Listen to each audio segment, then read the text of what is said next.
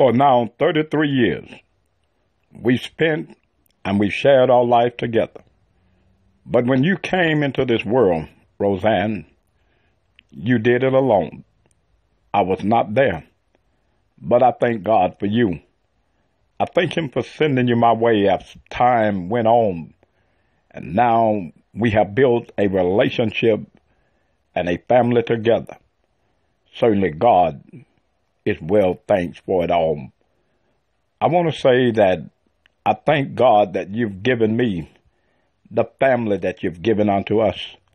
And certainly it is indeed a blessing.